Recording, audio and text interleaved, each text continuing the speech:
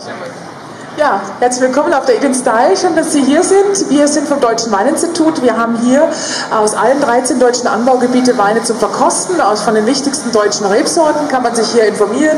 Auch touristisch kann man sich hier informieren. Wir haben ganz viel Infomaterial zu Weinfesten, äh, zu äh, Weinwandern durch die deutschen Weinbaugebiete. Da gibt es ganz viel. Und wir machen ganz viele schöne Seminare. Also einmal Käse und Wein, Schokolade und Wein, weil das immer so jeden interessiert. Dann informieren wir über die neuen Trends beim Sekt, bei deutscher Riesling-Sekt und überhaupt deutscher Winzersekt ganz im Aufwind ist. Und morgen kommt der deutsche Brotsommelier, der Matthias ähm, aus Straubing ist er, der bringt ganz tolle Brotsorten mit, ist ein super Handwerksmeister, der ganz tolles Brot bäckt.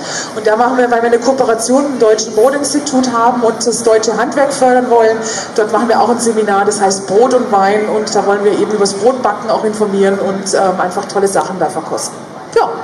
Und dann ist die Messe rum. Aha. Genau, da haben wir noch ein bisschen was vor uns.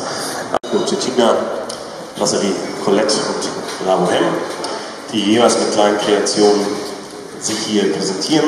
Schauen wir mal, ob wir vielleicht für ein Bild den einen oder anderen Teller bekommen oder auch die Chance haben, hier und da äh, etwas zu probieren.